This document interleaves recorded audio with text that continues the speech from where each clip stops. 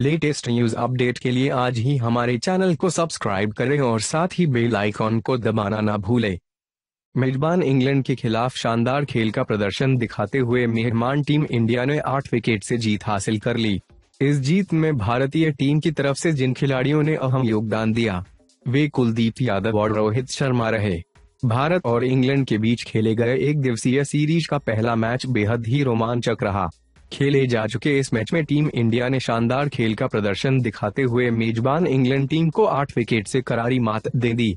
इसी के साथ वनडे सीरीज़ में एक शून्य से अपनी बढ़त भी कायम करने में कामयाब रही। बात अगर सीरीज़ के पहले वन वनडे मैच को लेकर करे तो इस मैच में टीम इंडिया ने टॉस जीतकर पहले बल्लेबाजी का न्यौता विपक्षी टीम को दिया। इसके बाद पहले बल्लेबाजी करने आए इंग्लैंड की टीम ने महज दो सौ अड़सठ रन बनाकर उनचास दशमलव पाँच ओवर में सिमट गई। इस दौरान जिस बल्लेबाज ने सबसे शानदार बल्लेबाजी का प्रदर्शन दिखाया, वे बेन स्टॉक्स और जॉस बटलर रहे। स्टॉक्स ने 50 और बटलर ने तिरपन रनों की पारी खेली।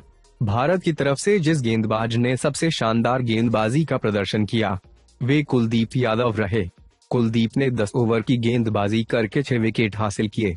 इसके बाद मिले इस लक्ष्य का पीछा करने उतरी टीम इंडिया ने शानदार शुरुआत की और सलामी बल्लेबाज रोहित शर्मा महज 114 गेंदों का सामना करके एक सौ सैंतीस रन बना डाले। वहीं शिखर धवन ने 40 रनों की अहम योगदान दिया। इसके बाद बल्लेबाजी करने आए विराट कोहली ने 75 रनों की पारी खेली। रोहित शर्मा और विराट कोहली के शानदार बल्लेबाजी की बदौलत टीम इंडिया ने बड़ी आसानी से चालीस दशमलव एक ओवर की बल्लेबाजी करके आठ विकेट से जीत हासिल कर ली।